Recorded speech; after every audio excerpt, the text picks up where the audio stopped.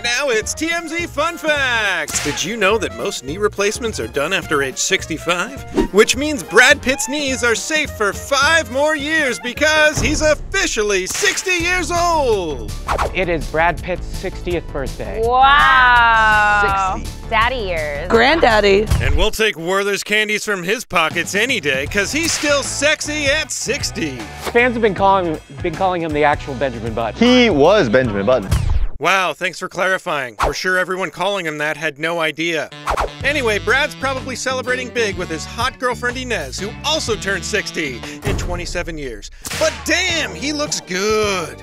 Is he like wrinkling? He's like wrinkling in the best way. Like a sexy raisin? Like a sexy raisin. What is there left to say about him? The guy's great looking, yeah. When he came on in Thelma and Louise, he was so hot. No, Fight Club Brad is the hottest Brad. Mr. and Mrs. Smith. And don't forget Legends of the Fall Brad, and Vampire Brad, and oh damn, Ocean's Eleven Brad. Even Brad as a cartoon is hot. So which version is this? Let's match your hairstyle with your current girlfriend, Brad. And he's also dreamy.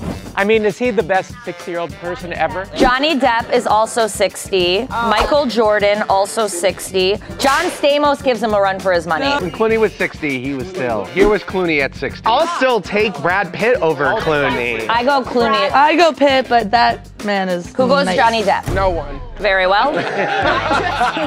So happy birthday, Brad Pitt. You still got it, you old man, you.